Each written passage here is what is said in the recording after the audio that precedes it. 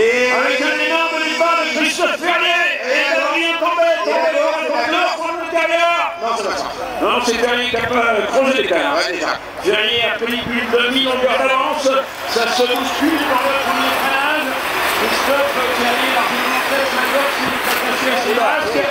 Et Adrien Tambet revient déjà sur la gorge. Ce qui serait bien, c'est qu'on nous enlève le- la grille de la débat. Voilà, merci beaucoup pour les chronos. Merci, monsieur du chrono. Et il y a une, une façon de sortir des virages, Adrien Tambet, qui est absolument étonnant. Ah, Regarde, il est complètement derrière euh, Franck Lagorce, là, le pilote en France, à l'intérieur, faire attention parce que si devant, il est passé, il est passé, Tambet est passé il a, il a roulé la piste. Fantastique passage d'Adrien Tambet Et Nicolas Prost l'a suivi Et Nicolas Non, c'est Margot Lafitte qui est C'est derrière. Margot. C'est Margot Lafitte et Alain Rocco qui a posé la tête Adrien Tambay, il est à Donf. Oh Il est à Donf, Adrien Tambay, pour tenter de revenir euh, sur de tête, Christophe Ferry, il a Discone d'Azur, seconde et qui avance sur lui.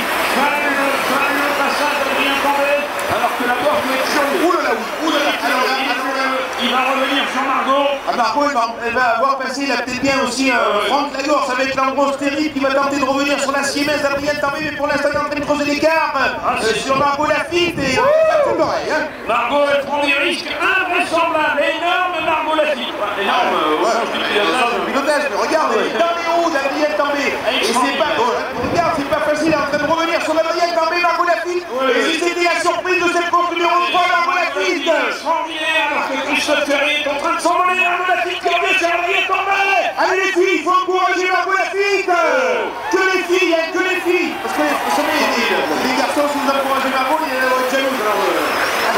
est extraordinaire.